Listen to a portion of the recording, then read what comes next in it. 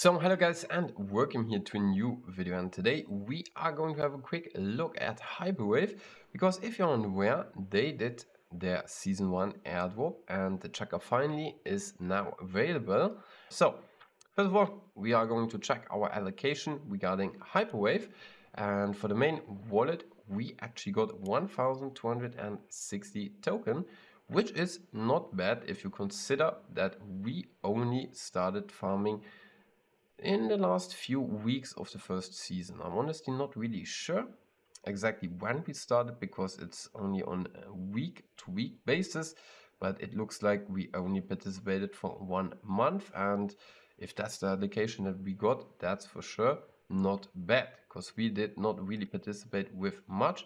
And even so, if we would, for example, check our second wallet, we even participated with less funds, but still were able to get 103 tokens, which of course is not the world, but then again, do that with a few wallets here and there, and then you pretty much are going to accumulate a lot of tokens. And the key on doing so is by doing YT positions. And YT positions, there's currently two.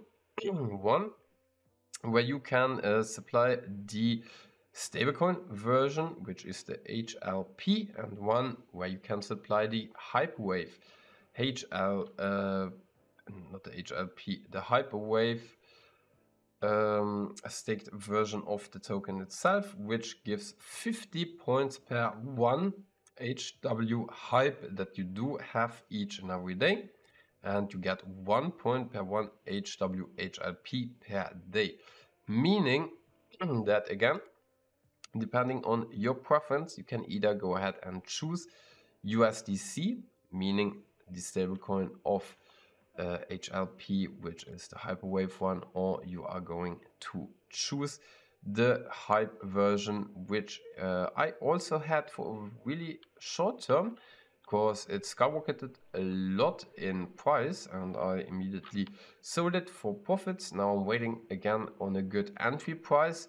How can you look into an entry price, looking into implemented APY as well as the underlying APY is important? Because the price will be reflected based on again the interest in the underlying token. And currently it looks like it's going down a bit with cooling off from the season 1 hype. Again that is the perfect moment to go ahead and purchase now, talking about the points and what they could be worth, I hope this is accurate. I'm not 100% sure. I just had a look at it and it was posted in the Hyperwave Discord, so I honestly could imagine that it is actually correct. And here we have a few different uh, scenarios, one with 10 million and 50 million, for example.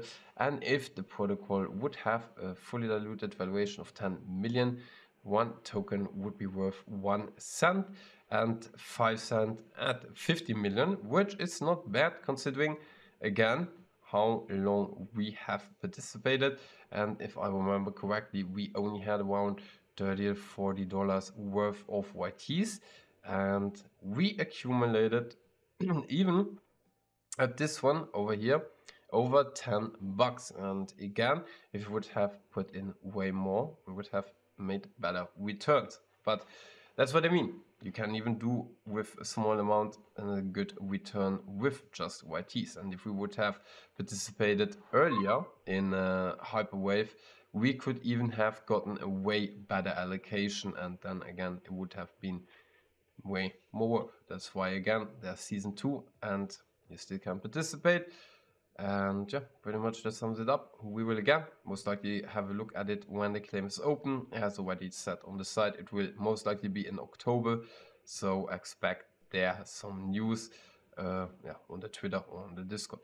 Hope you enjoyed the, uh, the video. If so, make sure to leave a like, comment and subscribe. And also have a wonderful day or night wherever you are based. And we will see us in the next video. Bye bye.